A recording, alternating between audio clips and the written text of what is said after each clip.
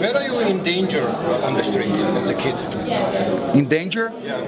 Ah, I didn't, I didn't realize those those moments. You know, I was a kid. You know, I didn't care about that. You know, maybe sometimes when I got beat by my my friends or something like this, but no, like like those little. Because we, we can heard, hear the stories about Brazilian favelas and how, how dangerous could it be. Yeah. Uh, it- You weren't living in No, yeah, I'm, I'm not. I'm not from a big city, you know. Uh, yeah, the, the, the reality of the favelas are, are different, you know, because thank God I, I didn't was in a big city and participate of that. But uh, I come from I, I'm, I come from Caçador. It's a small city in Santa Catarina, the state there in Brazil, and um, our reality there was a little different, you know, and tougher because small cities they don't have options for you. That's why I leave the city, you know, because uh, I was a poor guy with uh, 18 years old, and I couldn't see opportunities, you know, because I had I had to work to make money and help my family, and I couldn't study anymore. So I said, man, I'm gonna move to another city, maybe uh, look looking for uh, better opportunities, you know. So that that's what I did, you know. I moved. Yes, I, I did. Uh, I don't know. Uh, uh, I, I, don't, uh, I don't know if it's high school, but we call uh, median uh, segundo grau. High school? Qual série? Sétima? Não, segundo grau. Não, não, segundo grau. High school. High school. How have you prepared for a fighter like Ben Rock, especially his uh, go-go choke?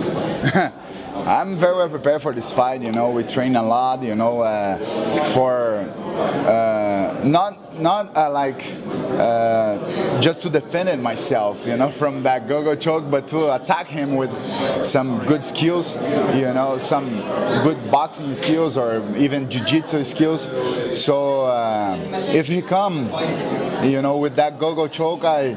I'll be, re- I'll be ready to defend it that and maybe give him some bad times in, in that position. But um, I'm well prepared. You know, we did a great camp there in Coconut Creek, uh, Florida, at the ATT. So I can say that I'm ready. Have, you brought your old boxing coach back to, to your camp right now? Yeah, it's not my old box. He's, uh, he's still my my boxing coach. You know, uh, we brought yeah I brought him because um, he knows me very well and he knows how to motivate motivate me more. You know, and also his you know ability to to teach me boxing. You know, to push myself in the box. My boxing skills are amazing. So uh, it was really good to be to have him uh, working with me at this time. The only time I didn't have him was last time, and the result wasn't good. So it was I think it was a good decision to bring him back. Can you, can talk about that fight in December with Alistair Overeem? A lot of people thought you looked a little gun shy, a little timid. What, what, what went wrong in that fight? Well, yeah. I'm shining. As a good boat, I'm shining. Bow, bold or bowed? Bowed. bowed. Not bold. uh, well, the question was uh, how I felt. Um, uh, well, I felt bad because I lost. no, but um, the fight was was a tough fight for me, you know, and I was trying. I think it was um, a wrong strategy, you know, maybe. You know, because what I do all, the time, I block. I try to block the guy. You know, I don't. I, I, I put him against the cage and then I attack him. I make the fight happen. And at this time, I was moving just one side, avoiding his left uh, kicks and knees. So uh, the fight wasn't happening. You know, and uh, um, then I, I started, but I, I didn't change that. I saw that moment that, that was happening and I didn't change. So I paid the price for that. You know, so it wasn't. Yeah, I wasn't feeling. I was I, I was prepared. I was okay for the fight, or you know, but I think it was a wrong strategy. That's it. You have been seeking some different training, you know, Nova União, American top team. Yeah. What do you feel? Do you, do you feel comfortable now? Are you getting what, what you're looking for? And do you feel like maybe that's a, a place for you long term? Yeah, I think so. You know, uh, well, uh, like, like right now, it's my second uh, training camp there at ATT. You know, and I did pretty well. You know, the guys there. It's for me, it's good to be participating of a big team like them. You know, be part of that team, and also having Coach Doria now helping me. So we did a good a good camp, and uh, I, am learning a lot of new things, and I, I, just want to put everything together, add everything to my boxing skills, you know, and uh, be a better fighter, you know. So uh, uh let's see. Uh, I'm ready to to Sunday night, and uh, I think it's it, this one's gonna be my first step back to the title, to my title shot. What do you see in Ben Rothwell? Obviously, he's been around for a long time, but for whatever reason, he's really becoming successful as of late. What, what do you see in him? Uh, very, he's a very confident guy, you know, very confident guy and puts a lot of pressure on his opponents. What he did with Josh Barnett on his last fight was was was really nice, you know.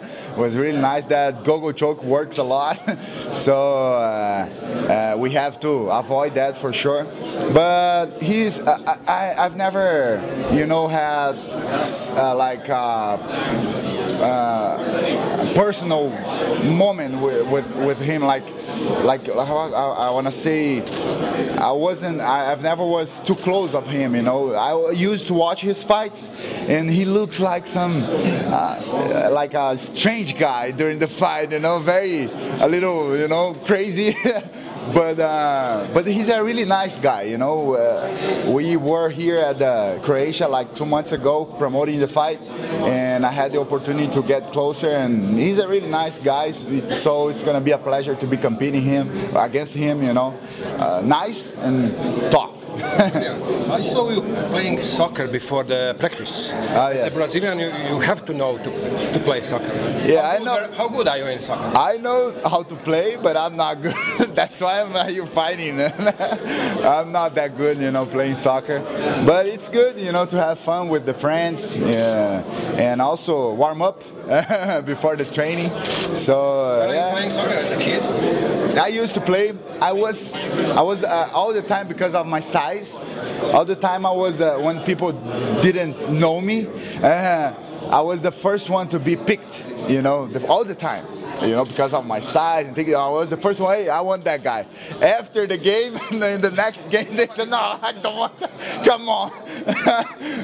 take it, take for your team, you know. so, uh, yeah wasn't I wasn't I didn't play well when I was a kid, you know, soccer, and I, I still don't play well, but uh, it's good to, to have fun.